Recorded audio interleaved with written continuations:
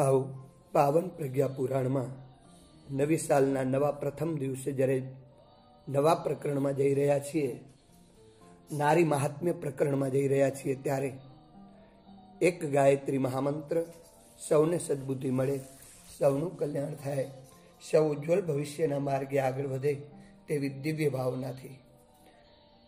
ઓમ ભૂર્ભુવા સ્વઃ तत्सवितुर्वारेण्यं भर्गो देवस्य धीमहि धियो यो नः प्रचोदया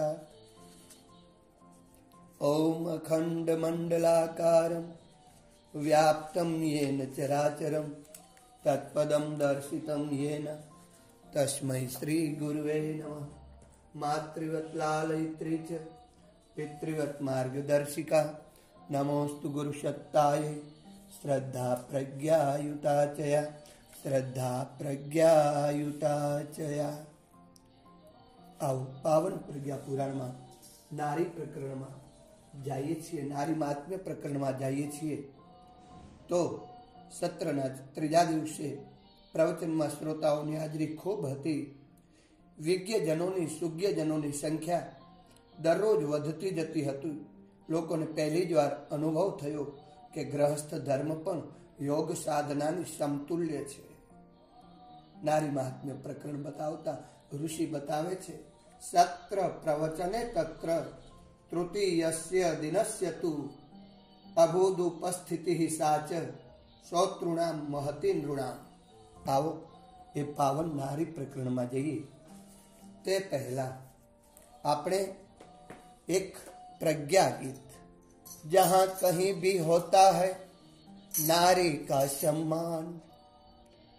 वही देवता करते हैं, प्रेम सहित विश्राम।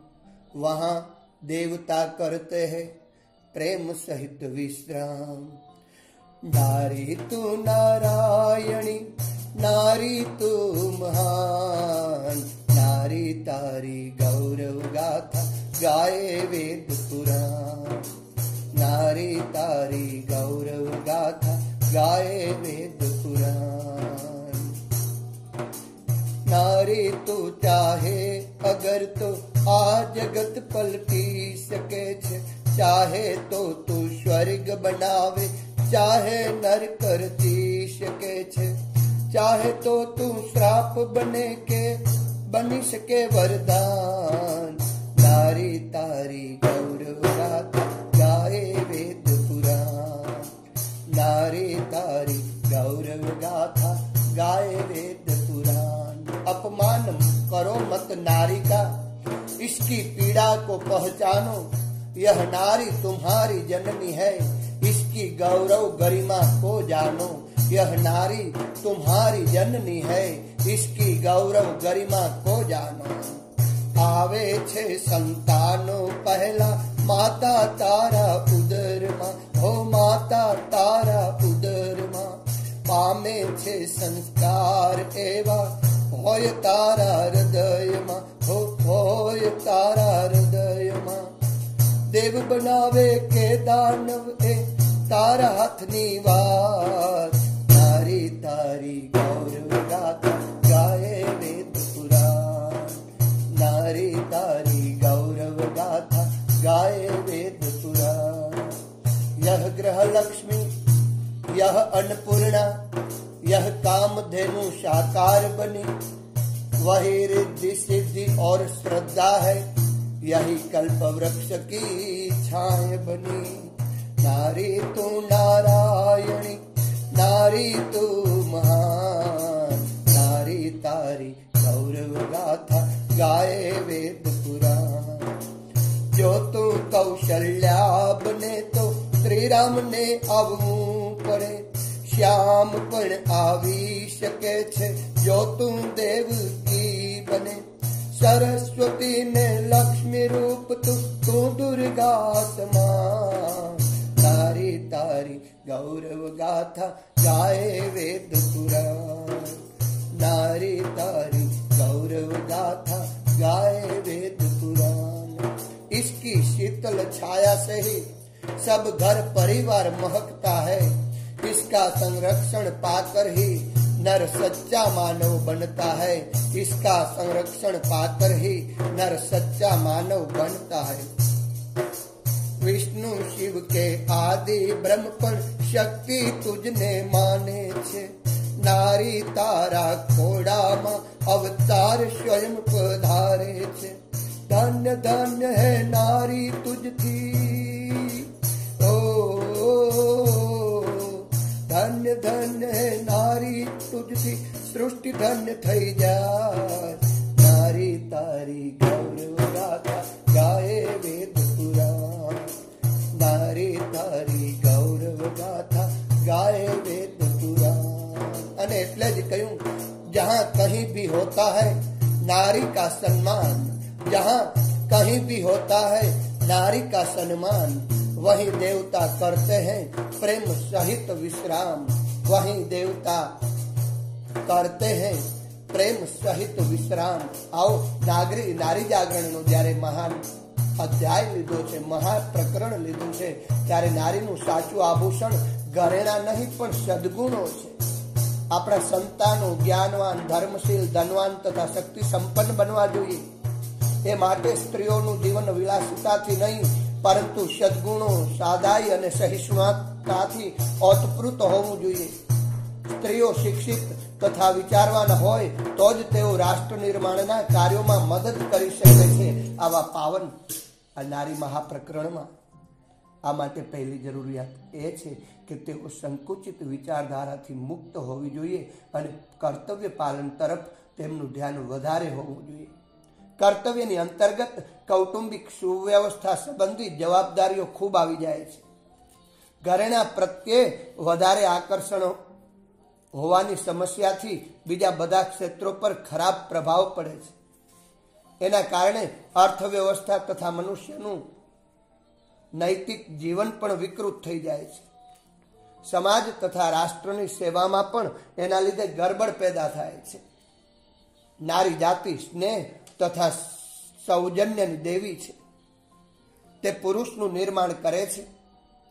કોઈ પણ રાષ્ટ્રનો ઉદય નારી જાતિના ઉત્થાનથી જ થાય છે.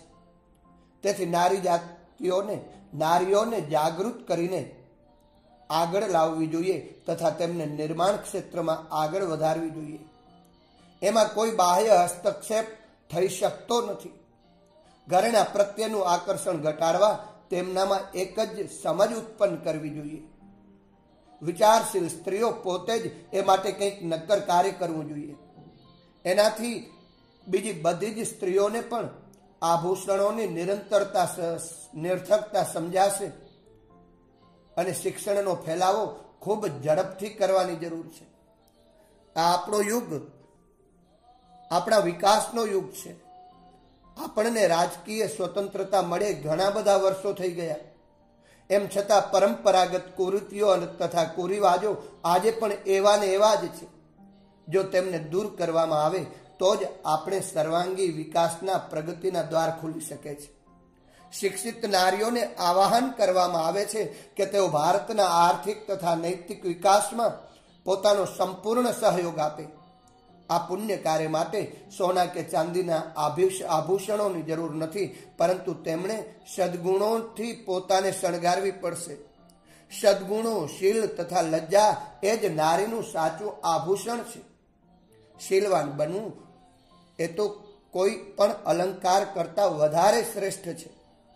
હવે તેમણે આવા સદગુણોના જ ધારણ દાગીના કરવા જોઈએ. એ પરમ પૂજ્ય ગુરુદેવ નારી જાગરણના મહાત્મ્યના પ્રકરણમાં કહે છે. સત્રના ત્રીજા દિવસે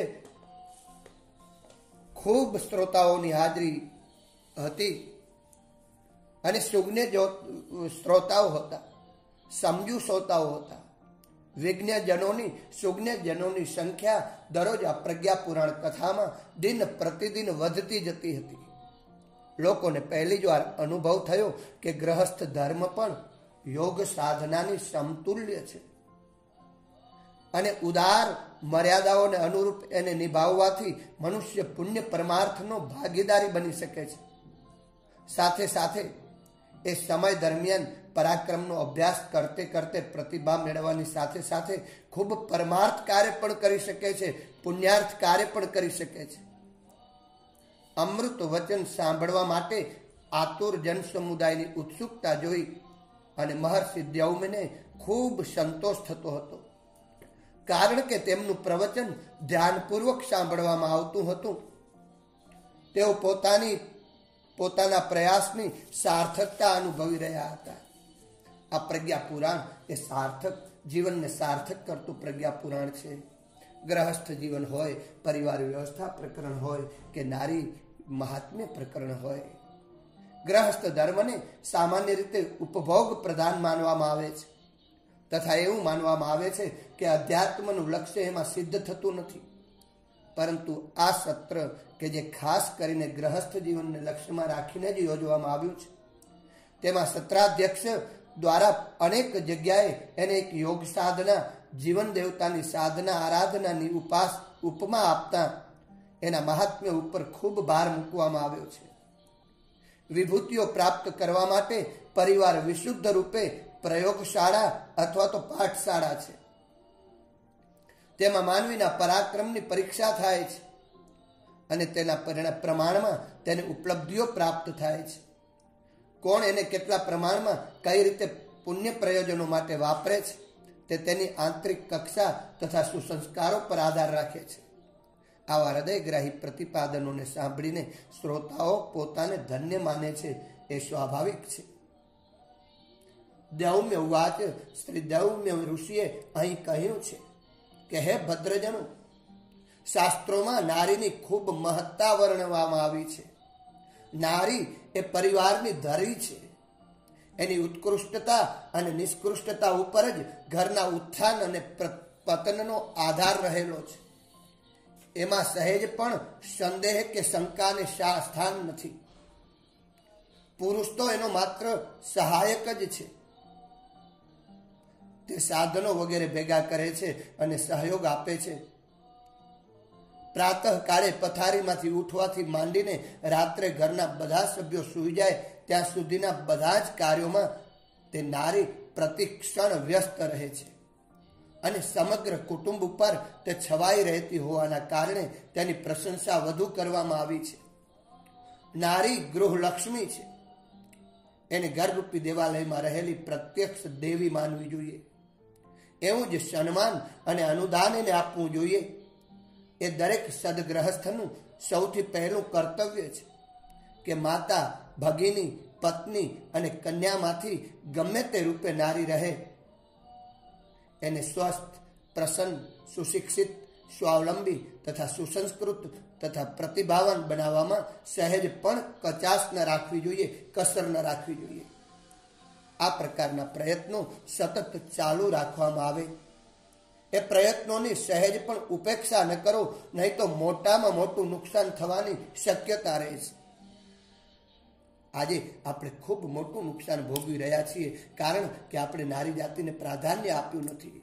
શાસ્ત્રોમાં નારીની મહત્તા અને એની ગરિમાનું વર્ણન કરતા કહેવામાં આવ્યું છે કે નારી એ જ બ્રહ્મ વિદ્યા છે, એ જ શ્રદ્ધા છે, એ જ શક્તિ છે, એ જ પવિત્રતા છે, એ જ કલા છે.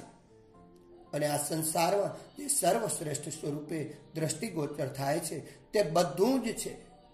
નારી એ સાક્ષાત કામધેનુ છે, અન્નપૂર્ણા છે, સિદ્ધિ છે, રિદ્ધિ છે. અને તે જ મનુષ્યના બધા જ અભાવો, કષ્ટો અને સંકટોનું નિવારણ કરવામાં સમર્થ છે, શક્તિશાળી છે.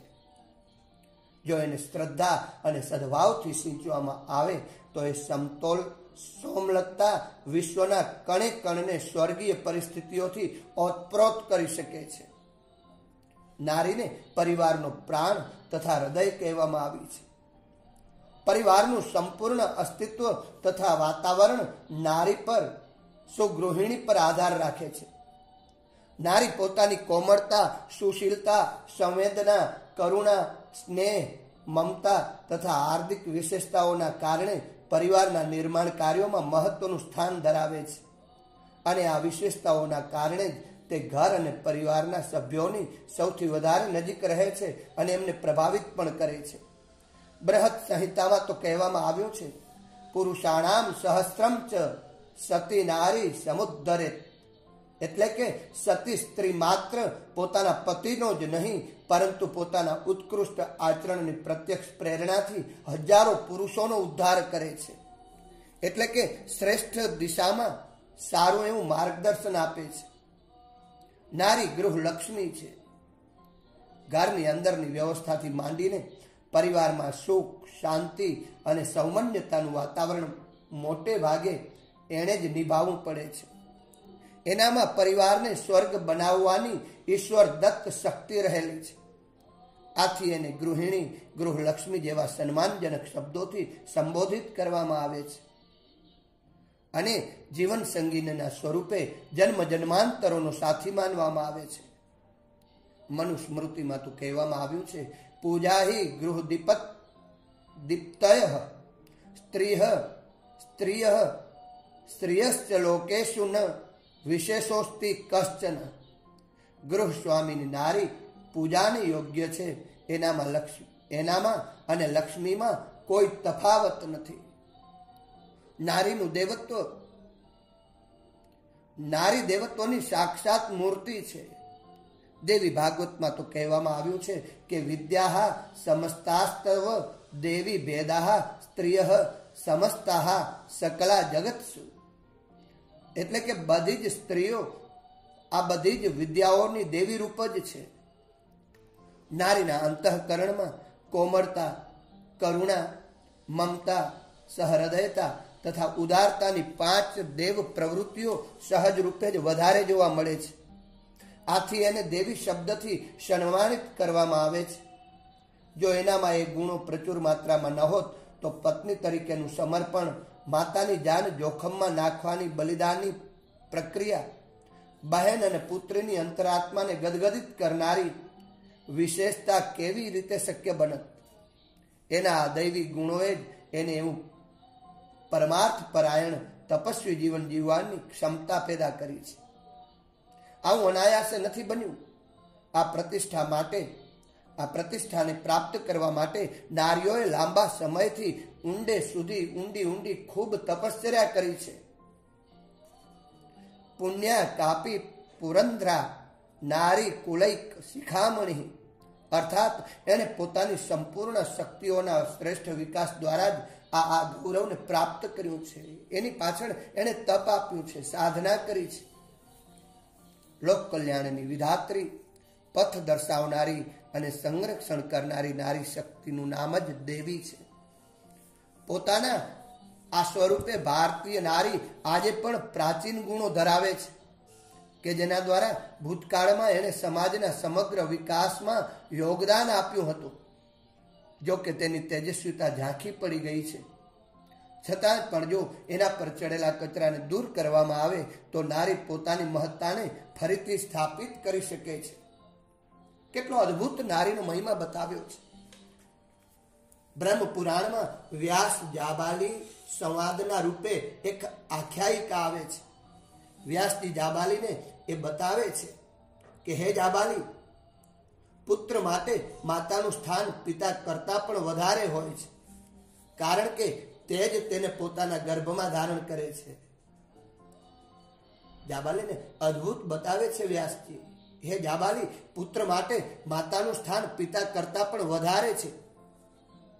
કારણ કે તે જ એને પોતાના ગર્ભમાં ધારણ કરે છે. પોતાના રસ, રક્ત અને શરીરથી જ નહીં, પરંતુ ભાવનાઓ અને સંસ્કાર સંસ્કારોથી પણ તેનું પાલન પોષણ કરે છે. આથી તે સર્વશ્રેષ્ઠ માર્ગદર્શક અને કલ્યાણ, કલ્યાણકારક ગુરુના રૂપમાં સ્થાપવા યોગ્ય છે. નાસ્તિ પુત્ર સમપ્રિય. એને પુત્ર કરતા વધારે બીજું કશું જ પ્રિય નથી. તેથી મનુષ્ય માત્રનું એ કર્તવ્ય છે કે તે પરમ આધ્યાત્મિક શક્તિના રૂપમાં માતાને પ્રતિષ્ઠિત કરે. પ્રત્યેક નારીમાં ભાવ વત્સલા નારીનું સ્વરૂપ જુએ. નાસ્તિ ભાર્યા સમમ મિત્રમ. માતા સમાન નારીનું બીજું સ્વરૂપ છે પત્નીનું, સહધર્મિણીનું. આ સ્વરૂપમાં એને સૌથી મહાન મિત્રની ઉપમા આપવામાં આવી છે. જીવનની મુશ્કેલમાં મુશ્કેલ પરિસ્થિતિઓમાં જ્યારે જગતના બધા જ લોકો સાથ છોડી દે છે ધન સંપત્તિનો પણ વિનાશ થઈ જાય છે. શરીર રોગી અને નિર્બળ થઈ જાય છે. આવી પરિસ્થિતિમાં પણ સહનશીલ પત્ની જ પુરુષને સાથ આપે છે. અને એની દરેક મુશ્કેલીમાં બીજું કદાચ ન બની શકે તો પણ પુરુષનું મનોબળ, એની આશા અને એની સંવેદનાને નિયમિત બળ આપતી રહે છે. નાસ્તિ, સ્વસા, સમામાન્યા, બહેન, સન્માન કોઈ સન્માનીય નથી. આ સ્વરૂપમાં નારીએ પુરુષને જે સ્નેહ આપ્યો છે, એનાથી આપણા સામાજિક સંબંધો અને જાતીય બંધનો સુદૃઢ બન્યા છે. ભારતીય વીરોને બુરાઈઓ સામે લડવાની પ્રેરણા આપનાર, એમના ગૌરવપૂર્ણ મસ્તક પર વિજય તિલક કરનાર બહેનના સંબંધમાં આજે પણ એ ભાઈ બહેનના સંબંધ કેટલા મધુર છે. એનો અનુભવ દરેક ભારતીયને રક્ષાબંધનના પવિત્ર દિવસે થાય છે. ગૃહેશુ તનયા ભૂષા. અર્થાત કન્યાના સ્વરૂપમાં નારી એ ઘરની શોભા છે. તે પોતાના આનંદ પ્રમોદથી ગ્રહસ્થ જીવનમાં જે સરસતા લાવે છે, તેટલી પુત્ર પણ લાવી શકતો નથી. અને એટલા માટે કન્યા પુત્ર કરતાં પણ વધુ ભાવનાશીલ હોય છે. તેથી તેની પાસેથી મળતા સ્નેહનું, પ્રેમનું મૂલ્ય અને મહત્વ ખૂબ અનેક ગણું છે. પોતાના ચારેય સ્વરૂપોમાં ભૂતકાળની ભારતીય નારીએ પુરુષ વર્ગ ઉપર જે જે ઉપકારો કર્યા છે, એની તુલના કોઈ પણ દૈવી સત્તાની સાથે સહર્ષ કરી શકાય છે. એમાં જ નારીનું પલ્લું ભારે રહેશે. આથી જ એને દેવી કહેવી એ પ્રત્યેક દ્રષ્ટિએ ઉચિત છે, ન્યાયપૂર્ણ છે. એના આ ગૌરવને પૂરતી પ્રતિષ્ઠા મળવી જ જોઈએ. આ ભાવના સાથે નારી મહાત્મ્યની શરૂઆત થઈ છે. આવું ગુરુચરણોમાં વંદન કરતા કરતા આજના દિવ્ય સંદેશને અહીંયા પૂર્ણ કરીએ. આવતીકાલે નારી મહાત્મ્ય ઉપર વધુ જોશો. ગુરુદેવ તમારી, જય જય ગુરુદેવ તમારી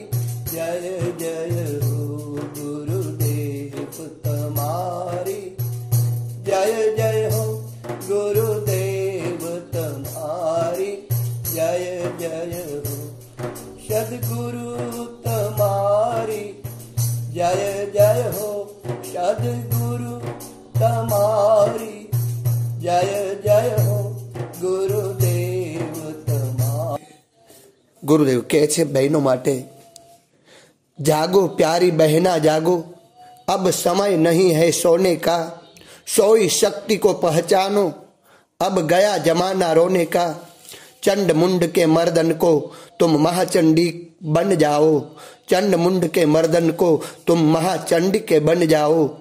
महिषासुर का वध करने को तुम महादुर्गा बन जाओ।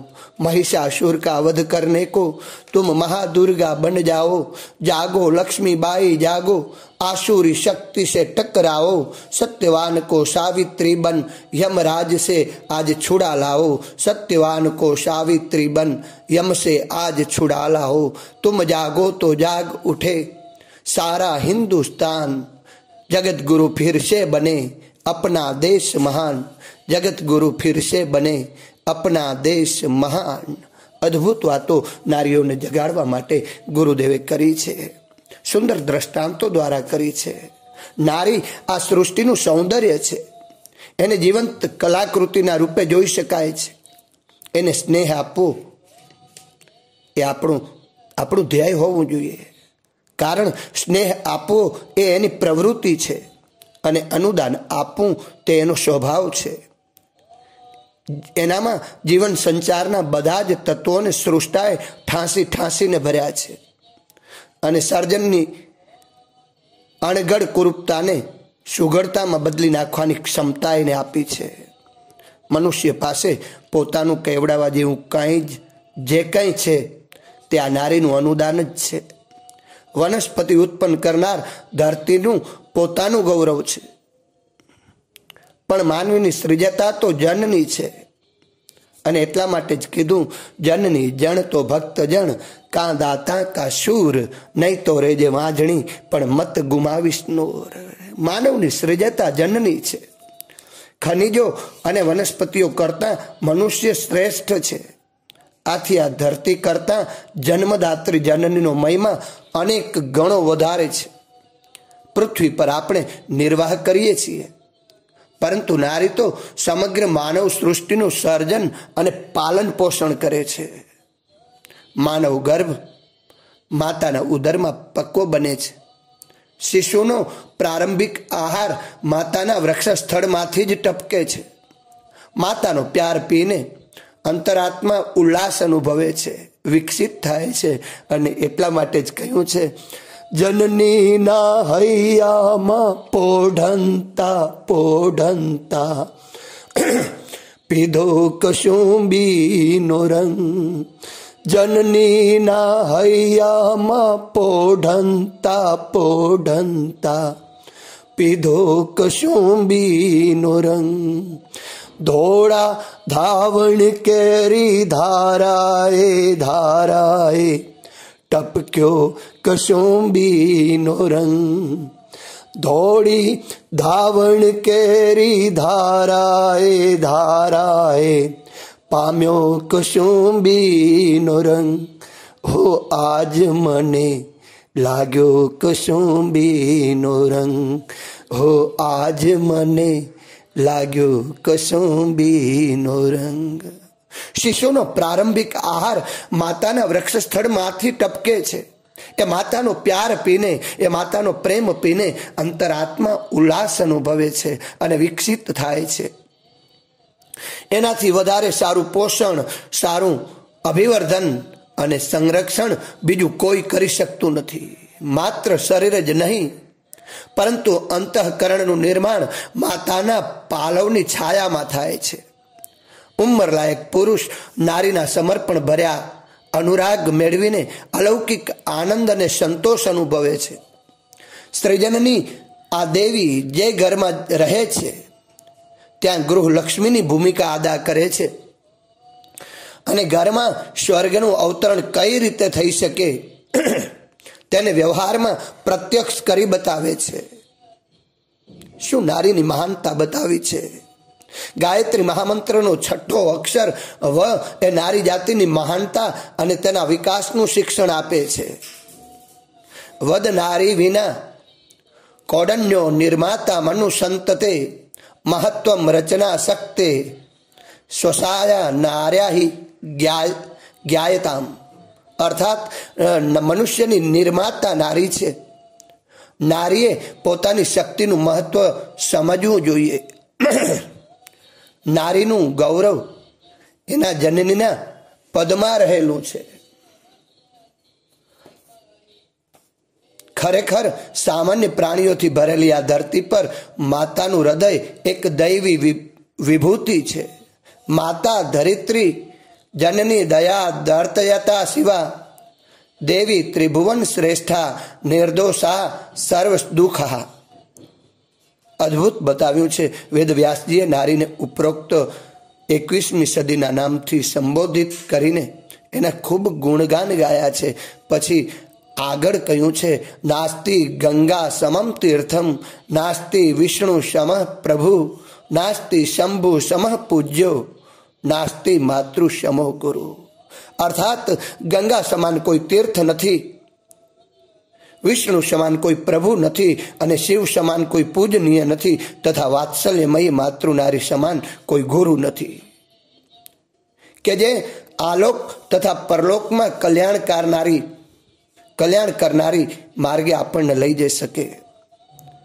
આ ગુરુ નારી એ ગુરુ છે, જે આલોક અને પરલોકમાં કલ્યાણકારી માર્ગે આપણને લઈ જઈ શકે એવી દિવ્ય એમનામાં ભાવના રહેલી છે.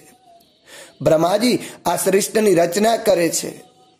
વિષ્ણુ એનું ભરણ પોષણ અને સંવર્ધન કરે છે. અને સૂક્ષ્મ આધ્યાત્મનું રહસ્ય જો સ્થૂળ રૂપમાં જોવું હોય, તો તેની ઝાંખી માતાને જોઈને કરી શકાય છે.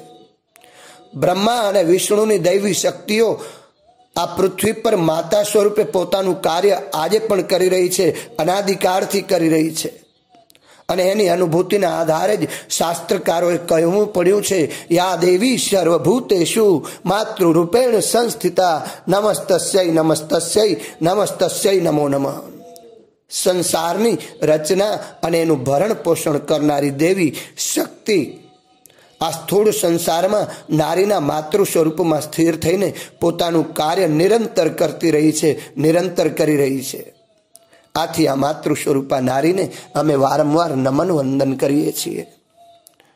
આ તથ્યના દ્રષ્ટા એક મનીષીએ કહ્યું છે કે ઈશ્વરને બાદ કરતા આપણે નારીના સૌથી વધારેમાં વધારે ઋણી છીએ.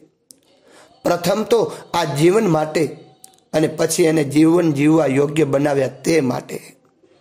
તાત્પર્ય એ છે કે મનુષ્ય જીવનની બધી જ સંભાવનાઓના મૂળમાં માનો અનહદ, પ્યાર, પ્રેમ, એનો ત્યાગ અને એની મહાન સેવાઓ જ રહેલી છે. વનમાં ઉગેલા એક છોડને વળગીને એક વેલ પણ છોડની બરાબર થઈ ગઈ. છોડનો આશ્રય લઈ એણે ફળવા ફૂલવાનું શરૂ કરી દીધું. વેલને ફાલતી ફૂલતી જોઈને વૃક્ષને અહંકાર આવી ગયો કે જો હું ના હોત તો આ વેલ ક્યારની નાશ પામી હોત? એણે તેને ધમકાવતા કહ્યું, અરે ઓવેલ વેલ, હું તને જે કહું છું, એને તું બરાબર પાલન કર. નહીં તો તને મારીને ભગાડી મૂકીશ. આમ તે વેલને ધમકાવતી રહી, ધમકાવી રહ્યું હતું આ વૃક્ષ. એટલામાં જ બે મુસાફરો ત્યાંથી નીકળ્યો. એક બોલ્યો, બંધુ, જુઓ, આ વૃક્ષ કેવું સુંદર ને શીતળ છે. એની ઉપર કેવી સરસ વેલ ફેલાઈ છે. આવો, અહીં ઉપર થોડી વાર આરામ કરીએ. પોતાનું મહત્વ આ વેલના લીધે જ છે. આ સાંભળીને વૃક્ષનું અભિમાન ઉતરી ગયું. એ દિવસથી એણે વેલને ધમકાવવાનું પણ બંધ કરી દીધું છે. માનવો, આપણે પણ આવા અભિમાનનું ત્યાગ કરવો જોઈએ. હું મારા થકી બધું ચાલે છે. હું જ બધું કરું છું. માં, હું ન હોત તો આ સંસાર ચાલી ન શકત. અરે બાપ આ ખોટું અભિમાન છોડી દે. ગુમાન તમારું ટકશે ના. ધન જોબન કાયમ રહેશે ના. ગુમાન તમારું ટકશે ના. ધન જોબન કાયમ રહેશે ના. ભક્તિ સત્કર્મો ખૂબ કરો. બીજું સંગાથે આવશે ના. ત્યજી શીઘ્ર લાભની દ્રષ્ટિને અંતિમ ક્ષણનો વિચાર કરો. એ આપણા પિતૃઓની ભસ્મ કહે છે. આ પ્રજ્ઞા પુરાણની દિવ્ય ચિંતન કહે છે કે જીવો મૃત્યુનો જરા વિચાર કરો, મૃત્યુનો જરા વિચાર કરો. અદ્ભુત વાતો બતાવી છે. આ સાંભળી હવેલનું વેલનું આ વૃક્ષનું બધું જ અભિમાન ઉતરી ગયું અને એણે એ દિવસથી જ વેલને ધમકાવવાનું બંધ કરી દીધું. ભિક્ષુણી ઉદ્યાનમાંથી એક સુગંધિત ફૂલ ચૂંટીને લાવી હતી. અધ ખુલ્લા નેત્રોથી પોતાના આરાધ્ય દેવને શોધતી શોધતી એક જ દિશામાં અવિરત ગતિથી જઈ રહી હતી. રસ્તામાં જ્યાં પણ અંગુલીના ફૂલ પડી જતા, ત્યાં દિશાઓ મહેકી ઉઠતી સૂકા પાન મુસ્કુરાઈ જતા. જેને શોધી રહી હતી તે મળી ગયો. ભિક્ષુણીએ ધ્યાનમગ્ન ભિક્ષુના ચરણો પર બધા ફૂલ ચડાવી દીધા. મસ્તક પણ શ્રદ્ધાથી નમી ગયું. ભિક્ષુએ આંખો ખોલી અને સંકોચાઈને કહ્યું, આ શું કર્યું? ભિક્ષુણીએ સ્થિર વાણીથી કહ્યું, મારા ભગવાન માટે જે લાવી હતી. તે મેં તેમને તેને સોંપી દીધું. ભિક્ષુની ચેતના તેજ બની અને એને કહ્યું, તો શું તું મારા માર્ગમાં અવરોધ બનીશ? ભિક્ષુણી બોલી, ના. આપ આપના માર્ગે આગળ વધો. મેં મારા ભગવાન બદલી નાખ્યા છે. એને બંને રસ્તા અને બંને રસ્તા એક કરી રહી છું. કારણ પ્રેમમાં જુદાઈ હોતી નથી. પ્રેમ પ્રેમ સબ કોઈ કહે. પ્રેમ ન જાને કોઈ. પ્રેમ જો જાને જગત મેં, તો જુદા રહે ન કોઈ. અઢાઈ અક્ષર પ્રેમ કા પઢે સો પંડિત હોય. નારી પ્રગતિના માર્ગમાં આવતું રોડું છે. એમ માનવું ભૂલ ભરેલું છે. સાચી વાત તો એ છે. આત્મિક પ્રગતિ એકદમ સરળ બની જાય છે. જ્યારે એનો સહયોગ મળે છે, ત્યારે બધું જ સરળ બની જાય છે. અને આપણા મહાપુરુષોએ કહ્યું પણ છે, દરેક સફળ પુરુષની પાછળ એની પત્નીનો હાથ હોય છે. ખૂબ સુંદર દ્રષ્ટાંતો પણ આપ્યા છે. શાસ્ત્રોમાં તથા ઇતિહાસમાં જે આદર્શ દંપતીઓ છે એમના જીવનક્રમને જોઈએ તો એક જ નિષ્કર્ષ નીકળે છે કે પરસ્પર એકબીજાને સન્માન અને સહયોગ આપીને જ તેઓ સફળ અને અનુકરણીય જીવન જીવી શક્યા હતા. બંગાળના નિર્ધન વિદ્વાન પ્રતાપચંદ્ર રાયે પોતાની બધી શક્તિ અને સંપત્તિ કામે લગાડીને મહાભારતના અનુવાદનનું કામ હાથમાં લીધું. તેઓ પોતાના જીવનમાં એ પૂર્ણ ન કરી શક્યા. તો તેમની પત્નીએ એ પોતે સુંદર સંસ્કૃતનું જ્ઞાન પ્રાપ્ત કરીને એ અધૂરું કામ પૂરું કરી બતાવ્યું છે. જ્યાં ઉચ્ચ આદર્શો હોય, ત્યાં જ આવી સાહસિકતા જોવા મળે છે. સામ્યવાદના પ્રવર્તક કાર્લ માર્ક્સ એ પણ કંઈ કમાઈ શકતા નહોતા. એ કામ એમની પત્ની જેની કરતી હતી. તે જૂના કપડાં ખરીદીને એમાંથી બાળકોના કપડાં બનાવતી અને ફેરી કરી કરીને એ વેચતી હતી. આદર્શો માટે પતિઓએ આ રીતે પતિઓને આ રીતે નારી જાગૃતિએ પ્રોત્સાહિત કરવામાં અને સહયોગ આપવામાં ખૂબ સહયોગ આપ્યો છે. આમાં આ બધા કાર્યોમાં પત્નીઓનું ઉચ્ચ સંકલ્પ બળ જ કામ કરે છે. મૈત્રેય યાજ્ઞવલ્કની સાથે પત્ની નહીં, પણ ધર્મ પત્ની બનીને રહી હતી. રામકૃષ્ણ પરમહંસની સહચરી શારદામણી દેવીનું ઉદાહરણ પણ આવું જ છે. સુકન્યાએ ચવન ઋષિ સાથે વિલાસવાસના માટે નહીં, પરંતુ એમનું મહાન લક્ષ્ય પૂર્ણ કરવા માટે લગ્ન કર્યું હતું. જાપાનના ગાંધી કાગાવાની પત્ની પણ દિન દુખિયાઓની સેવા કરવાના ઉદ્દેશથી એમની સાથે લગ્ન ગ્રંથિથી જોડાઈ હતી. અદ્ભુત નારી મહાત્મ્ય પ્રકરણ બતાવ્યું છે. નારીના સુંદર ગુણગાન ગાવામાં આવ્યા છે. નારી મનુષ્યના સંપૂર્ણ વિકાસનું એક પરિબળ છે. એને સન્માન આપવું જોઈએ એવી દિવ્ય વાતો આ પ્રજ્ઞા પુરાણમાં બતાવી છે. વધુ આવતીકાલે